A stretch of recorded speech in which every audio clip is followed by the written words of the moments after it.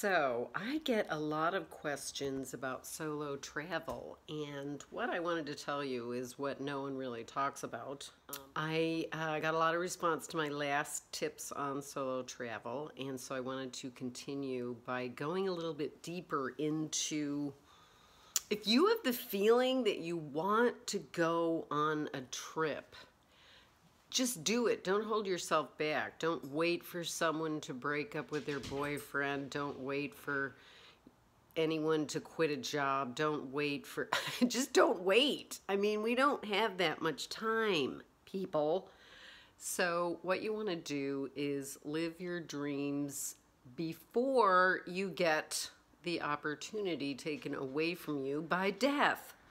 Um, and that really spurs me on. Uh, when I started in 2005, uh, there weren't very many people. I didn't know anybody that was traveling by themselves. Um, and um, I started at what age 50. So listen, you can do it at any age. You don't have to be a specific age. You don't have to go with people.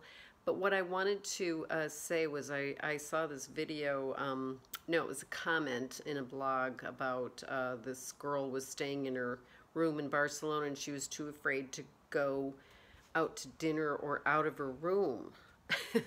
so I wanted to address that because, you know, especially in Europe, probably about the worst thing that could possibly happen is to be pickpocketed. But you just have to really um, know where your stuff is at all times and um, have it securely put away. Don't have it out on display. Like I, you can hide things in pockets and socks and have secret pockets made and, and so forth. Um, and not walk around with a lot of money and not uh, walk around with your camera showing all the time. And, and it's not, you know, you just, you can't put things down and leave them there. So you just have to be smart about that. And the thing about being on your own that no one ever tells you is that it's actually fun because you end up meeting more people because you go outside your comfort zone and you start talking to people.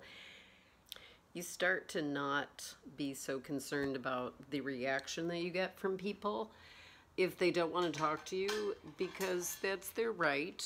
They might uh, not want to, but it doesn't matter. There's so many people to talk to. There's 7 billion people in the world. so just remember that. There's going to be someone that thinks you're interesting. Um, and it's a form of self-love, just to love yourself enough to take yourself away on a dream vacation. So um, or change it to be your lifestyle. Um, so I wanted to address that about the courage part because um, there's no, um, you know, especially Europe and places where there's a lot of solo travels. There's a lot travelers. There's a lot of um, people from uh, Western countries that are traveling, and there's a there's a traveling culture. Um, so, you know, don't pick like India or something more difficult, a country that's harder to go to the first time by yourself.